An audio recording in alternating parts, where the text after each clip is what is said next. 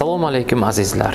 Assalomu alaykum qadrli teletomoshabinlar. Viloyat ichki ishlar boshqarmasi axborot xizmati tomonidan tayyorlangan osoyishtalik yo'lida ko'rsatuvi yana efirda. Bugungi ko'rsatuvimizdan o'rin olgan xabar va lavhalarning qisqacha anonsi bilan tanishtirib o'tamiz.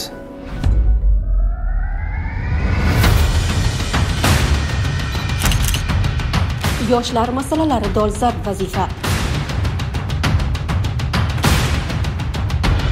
boshqarma boshlig'ining navbatdagi fuqarolar qabuli. Pul evaziga ishga kiritib qo'yish taklifi amalga oshmadi. Shaxsiy tarkib xodimlari sport mashg'ulotlarida ildam.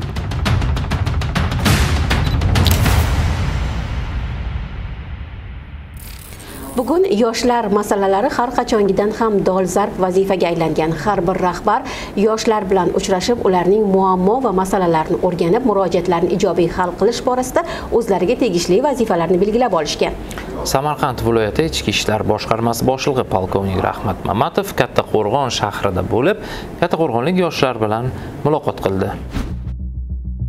Bugun yangi o'zbekiston yoshlari uchun keng imkoniyatlar eshigi ochildi. Mamlakatimizda yoshlarning talab va ehtiyojlarini o'rganish ularga yangidan yangi imtiyoz va qulayliklar yaratish bu boradagi tashkiliy huquqiy asoslarni mustahkamlashga ustuvor ahamiyat qaratilmoqda. Viloyat ichki ishlar boshqarmasi boshlig'i uchinchi sektor rahbari rahmat mamatov kattaqo'rg'on shahrida yoshlar bilan o'tkazgan uchrashuvda bu kabi imkoniyat va sharoitlarni alohida e'tirof etdi.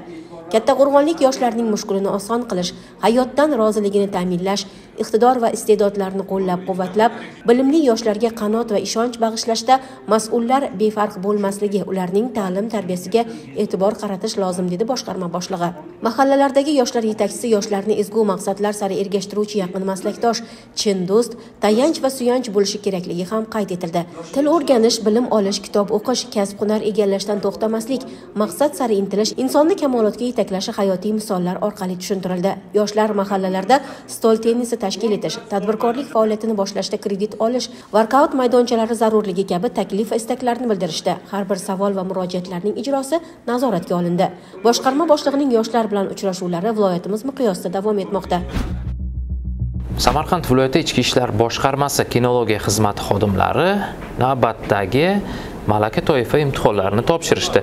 Umid opa bunda bir jihat xodimlar faqatgina o'zlari emas balki xizmat itlari bilan bu toifalarni topshirishadi. Hozir namoyish etmoqchi bo'lgan lavhamiz ana shu xususda. O'zbekiston respublikasi vazirlar mahkamasining 2019 yil 9 sentyabrdagi ichki ishlar organlarining kinologiya xizmatlari faoliyatini tubdan takomillashtirish chora tadbirlari to'g'risidagi qarori va ichki ishlar vazirining 2023 yil 20 iyundagi 333 sonli buyrug'i hamda samarqand viloyati ichki ishlar boshqarmasi boshlig'ining 2024 yil 24 fevraldagi 34 sonli buyrug'i talablariga muvofiq 2023 yil yakunlari bo'yicha baholash mezonlari asosida samarqand viloyati ichki ishlar boshqarmasi jamoat xavfsizligi xizmati xizmati jamoat tartibini saqlash boshqarmasi kinologiya bo'limi xodimlaridan sinovlar qabul qilindi. Maxsus malaka toifasi uchun kinolog xodimlar 2023 yil davomida amalga oshirgan ishlari hisoboti va o'zlariga biriktirilgan xizmat itlari bilan umumiy va maxsus kurslar bo'yicha sinovlar topshirdi. Xizmat itlaridan jinoyatchini hidli izlari orqali topish iz qidiruv giyohvand va portlovchi moddalarni qidirib topish qolaversa maxsus yo'nalishlar bo'yicha bir qator sinovlar qabul qilindi. Mazkur sinov imtihonlar ularning kelgusidagi xizmat faoliyatida asqotishi bilan ahamiyatlidir. Xabaringiz bor joylarda aholi muammolarini o'rganish va ularning murojaatlarini ijobiy hal qilish borasida turli sayyor qabullar va fuqarolar bilan yuzma yuz muloqotlar tashkil etilmoqda. Albatta bu haqda deyarli har galgi ko'rsatuvlarimizda xabar berib boramiz boshqarma boshlig'i polkovnik rahmat mamatovning navbatdagi qabuli viloyat ichki ishlar boshqarmasi binosida o'tkazildi. Bugun inson qadri ustuvor bo'lgan jamiyatimizda odamlarni rozi qilish mavjud muammosini hal etish rahbarlar faoliyatining asosiy mezoniga aylangan. Viloyat ichki ishlar boshqarmasida uchinchi sektor rahbari rahmat mamatovning navbatdagi fuqarolar qabuli o'tkazildi. Qabulda pul oldi berdisi firibgarlik qo'shnilar o'rtasidagi nizo oilaviy janjal tergov faoliyati bilan bog'liq murojaatlar shuningdek kundalik turmushda uchrayotgan maishiy muammolar bayon qilindi. Bugungi kun talablari kechagi kun talablaridan mutlaqo farq qiladi. Ishga yondashuvni o'zgartirish kerak. Odamlar dardu tashvishini o'z muammoyingiz deb qarang. Masalani chuqur tahlil qilib uning yechimini qonuniy ijrosini ta'minlash shart. Odamlarni o'rganamiz bajaramiz qabilidagi quruq va'dalar bilan ishontirmang. Amaliy ishni amalda ko'rsating. Fuqarolarning ovoragarchiligiga o'rin qoldirmang dedi boshqarma boshlig'i tegishli soha mas'ullariga. Bildirilgan murojaatlar belgilangan tartibda ko'rib chiqilib qonun doirasida hal etilishi yuzasidan topshiriqlar berilib ayrimlarning huquqiy yechimi yuzma yuz muloqot doirasida tushuntirildi. Jinoyatning katta kichigi bo'lmaydi. Mo'may daromad orttirish maqsadida fuqarolarning ishonchiga kirib bugun ularni aldab kelayotgan kimsalarning qilmishlarini bot bot ekranlarimiz orqali namoyish etmoqdamiz. Ha shunday bo'lsada o'z manfaati yo'lida qing'ir ishga qo'l urayotgan xodimlar ham uchrab turibdi. Ishga kiritib qo'yaman faqat buning xarajatlari bor deya mo'may daromad topib cho'ntagini qappaytirmoqchi bo'lgan mas'ul xodim ham e, qonun barchaga barobar ekanligini anglab yetdi. Hozirgi lavhamiz shu haqida firibgarlik va pora berish jinoyati bilan shug'ullanganlar har vaqt ham jazoga tortilgan. Joriy yilning 28 fevral kuni samarqand viloyati ichki ishlar boshqarmasi tezkor qidiruv xizmati jinoyat qidiruv boshqarmasi korrupsiya va iqtisodiy jinoyatlarga qarshi kurashish bo'limi va ichki ishlar vazirligi shaxsiy xavfsizligi bosh boshqarmasi samarqand viloyati bo'yicha boshqarmasi xodimlari hamkorligida samarqand shahrida tezkor tadbir o'tkazildi. Tadbir davomida navoiy kon metallurgiya kombinati aksiyadorlik jamiyati janubiy kon boshqarmasi marjonbuloq koni muhandisi navoiy viloyati karmana tumani qo'ybog' mahalla fuqarolar yig'inida yashovchi fuqaroni o'z mansab vakolatidan foydalanib navoiy kon metallurgiya kombinati aksiyadorlik jamiyati janubiy kon boshqarmasi marjonbuloq koni kadrlar byurosi boshlig'i orqali shu maskandagi qo'riqlash xizmatiga ishga joylashtirishini aytib evaziga 2000 aqsh dollari miqdorida pullarni olayotgan vaqtida ashyoviy dalillar bilan qo'lga olingan. Tadbir davom ettirilib unda navoiy kon metallurgiya kombinati aksiyadorlik jamiyati janubiy kon boshqarmasi marjonbuloq koni kadrlar byurosi boshlig'i korxona muhandisidan kelishilgan 2000 aqsh dollari miqdoridagi pullarni olgan vaqtida ashyoviy dalillar bilan ushlangan. Mazkur holat yuzasidan samarqand shahri bo'yicha ichki ishlar organlari faoliyatini muvofiqlashtirish boshqarmasi huzuridagi tergov bo'limi tomonidan o'zbekiston respublikasi jinoyat kodeksining tegishli moddalari bilan jinoyat ishi qo'zg'atilib ikkala shaxs ham ehtiyot chorasi sifatida qamoqqa olingan.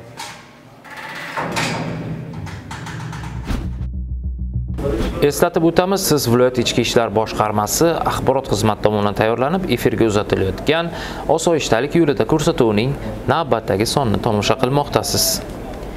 Hozirgi lavhamiz esa viloyat ichki ishlar boshqarmasi boshlig'i rahmat mamatovning tizimda xizmat olib borayotgan yosh xodimlar bilan uchrashuvi tafsilotlari xususida.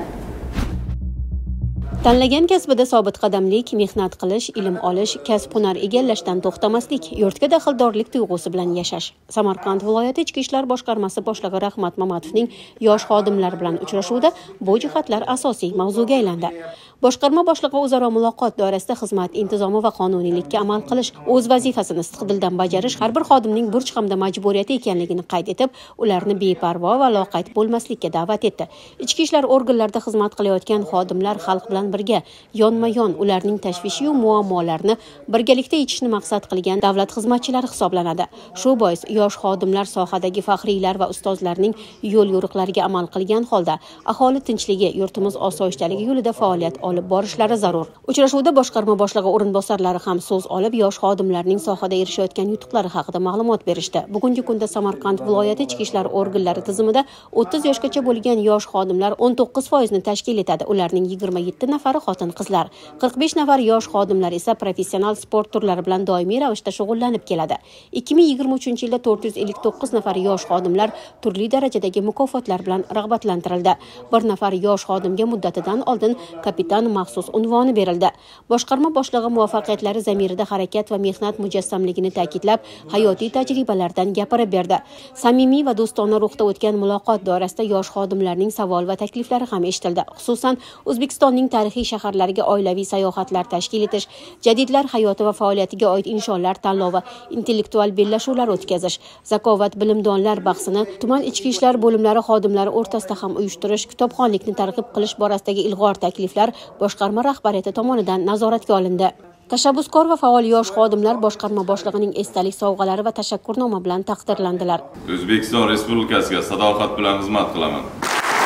Endilikda yosh xodimlar bilan bu kabi uchrashuvlar doimiy ravishda o'tkazilishi belgilab olindi Midapa sportga oshnolik bu doimiy salomatlik demakdir. Bu insonni nafaqat e, tashqi ko'rinishi go'zalligiga, balki qalbni ham go'zalligiga erishishga olib keladi. Albatta to'g'ri ta'kidlab o'tdingiz viloyat ichki ishlar boshqarmasi shaxsiy tarkibi ishtirokida sport mashg'ulotlari o'tkazilib bu ularning jismoniy faolligini oshirdi. O'zbekiston respublikasi ichki ishlar vazirligining 2022 yil 22 sentyabrdagi 383 son buyrug'i hamda 2024 yil 20 fevraldagi 60 son farmoyishi ijrosini ta'minlash maqsadida markaziy apparat shaxsiy tarkibi bilan jismoniy va jangovar tayyorgarlik bo'yicha mashg'ulotlar o'tkazildi. Samarqand viloyati ichki ishlar boshqarmasi shaxsiy tarkibi ushbu mashg'ulotlarda faol qatnashib o'zlarini yana bir karra sinovdan o'tkazishdi.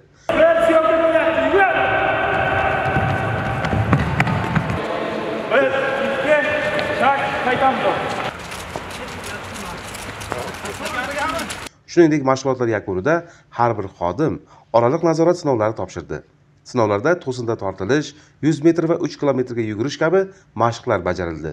Oraliq nazorat sinovlari viloyatning barcha shahar tuman ichki ishlar bo'limlarida hafta oxiriga qadar davom etadi. Do'stlik uchun vaqt toping bu baxt manbaidir sevgi uchun fursat toping bu hayotning muqaddas in'omidir. Sayohat uchun imkon toping bu kayfiyatingizni ko'taradi. Orzu bilan uxlab maqsad bilan uyg'ongan kishilarda armon bo'lmas ekan. Harakat qilishdan hech qachon to'xtamang deya bugungi ko'rsatuvimizni yakunlaymiz. Eslatib o'tamiz siz viloyat ichki ishlar boshqarmasi axborot xizmati tomonidan tayyorlangan osoyishtalik yo'lida ko'rsatuvini tomosha qildingiz.